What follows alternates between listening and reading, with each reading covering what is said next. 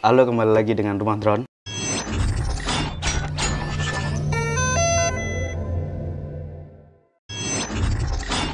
Kali ini saya akan mencoba membagikan tips. Karena kemarin di Instagram Rumah Drone Kita itu membuat story cara membersihkan karet-karetnya di remote ini. Ternyata banyak yang tanya ehm, Gimana mas cara bersihinnya dan apa aja alat-alat yang diperlukan? Sebenarnya sederhana. Yang diperlukan itu odol bukan karena kita mau gosok gigi ya. Ini adalah alat utama buat kita bersihin uh, karetnya remote. Yang kedua alkohol. Bukan buat mabok-mabokan ya. Terakhir adalah kita butuh ini tisu. Oke langsung aja. Kita bersihkan salah satu aja ya. Yang ini dulu. Oke. Ah. Kita buka dulu odolnya.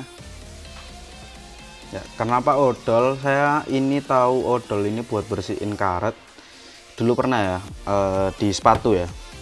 Kalau anda punya sepatu itu pakai ini bisa. Bersihinnya sul apa karet sepatunya itu. Tampan juga saya hei. Lanjut. Habis dikasih kasih aja uh, odolnya secukupnya. Bukan odol ya ini apa ya? Pasta giginya pasta gigi secukupnya. Uh, digosok-gosokkan kayak gini diratakan aja dulu. Nah ini ratakan gini. Simple banget. Simple banget. Cuman saya pikir banyak orang yang tahu ternyata cuman masih jarang ya. Dibersihkan dulu kayak gini. Oke. Nah ini kasih alkohol dikit. Kasih gini dikit. Nah biar basah. Kalau nggak ada alkohol bisa pakai air. Guys kalau nggak nggak bisa nggak ada air bisa pakai ludah. Eh.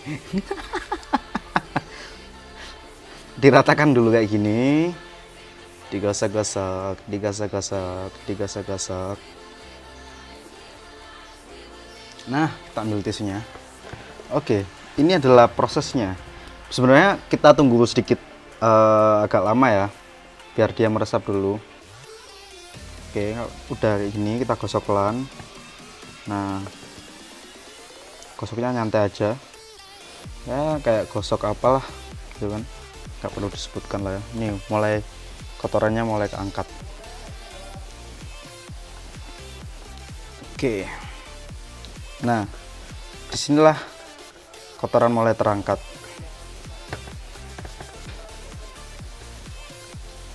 Nah pelan-pelan aja kita basahi pakai alkohol. Eh kurang banyak.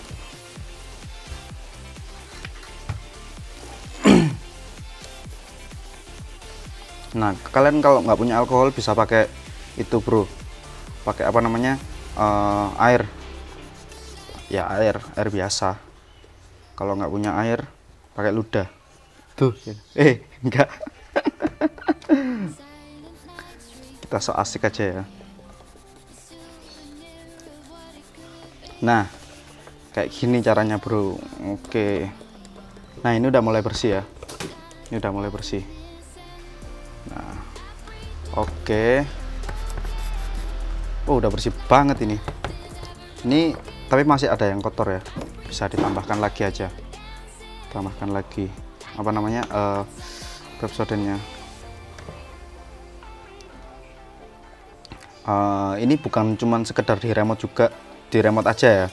Tapi juga bisa di apa namanya di body. Di body pantem kalian di body drone kalian kalau misalkan kotor bisa pakai kayak gini. Dijamin drone kalian baru lagi.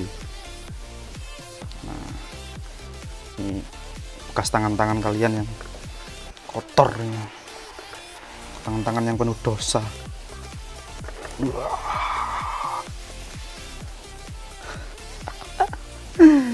Iya. Dan akhirnya sudah. Ya ini hasil bersihnya. Kayak gini. Kayak gini ya. Mata atas kayak gini. Nah sebelumnya kayak gini. Ini sebelumnya kayak gini. Wih sesudahnya kayak gini kan cukup bersih kan nah udah bersih kalian kalau mau ngedrone bersih keadaan kayak gini bisa lebih uh, apa ya lebih pede lah ya, lebih enak lah, lebih megangnya itu lebih puas gitu kan. Dia udah bersih. Ternyata simpel banget, yang dibutuhkan cuman ini doang ya. Pepsodent, alkohol, dan juga dua helai tisu. Oke, cuman gitu aja. Ternyata cuman gitu aja kan cara bersihnya simple banget dan mungkin semoga ini bermanfaat dan jangan lupa kalau mau ada pertanyaan soal tentang drone terus ada request apalagi uh, ada request uh, cara perbaikan atau apa request saja di komentar. Nanti kalau misalkan pertanyaan kalian masuk akal bakal kita buatkan videonya untuk kalian. Udah deh itu aja. Sampai ketemu ya. Terima kasih. Dadah. Dadah